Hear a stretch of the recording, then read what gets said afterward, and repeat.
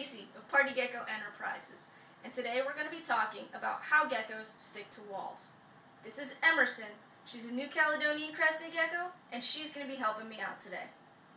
On the bottom of a gecko's foot, there are millions of tiny little hairs called setae.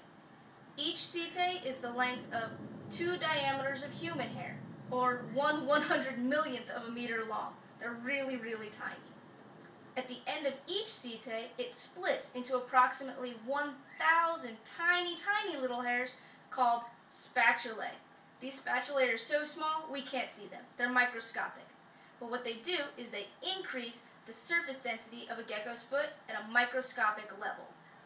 Scientifically, van der Waals forces are electrodynamic forces which operate at very small distances and create an attraction between the two surfaces.